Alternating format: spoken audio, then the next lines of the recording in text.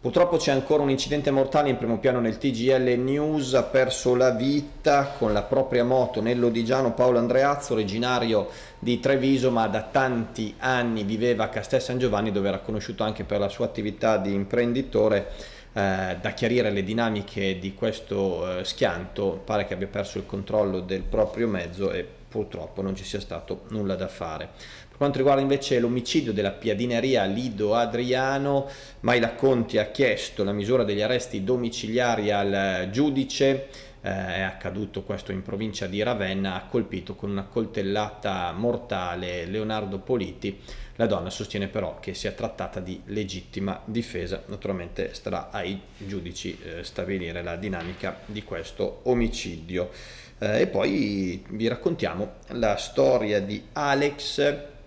che è nato donna, ha fatto il cambio di sesso e finalmente, eh, secondo quanto racconta, può registrarsi da uomo all'anagrafe con il nome maschile perché è arrivata una sentenza del tribunale. Eh, questo ragazzo vive a Sarmato e dunque eh, potrà completare definitivamente il cambio di sesso. Ehm, c'è poi la questione del Carmine aperto perché il restauro è ehm, sostanzialmente concluso, però non si trova i gestori, coloro che hanno vinto l'appalto non trovano il gestore della caffetteria interna e dunque rischia di slittare l'inaugurazione proprio per questa difficoltà a trovare chi possa gestire il bar all'interno del Carmine. Chiudiamo con lo sport, il Piacenza domani è atteso da una amichevole alle 15 al Bertocchi contro la Pro Vercelli, altra squadra di Serie C, prove generali del debutto che ci sarà il 25 agosto a Vicenza contro l'Arzignano, il DS Matteassi continua però a puntellare la squadra salto a millesi per rinforzare ulteriormente